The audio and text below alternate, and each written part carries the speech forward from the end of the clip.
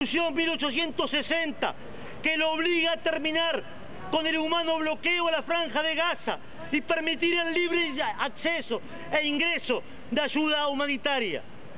Así que no se puede pretender explicar este crimen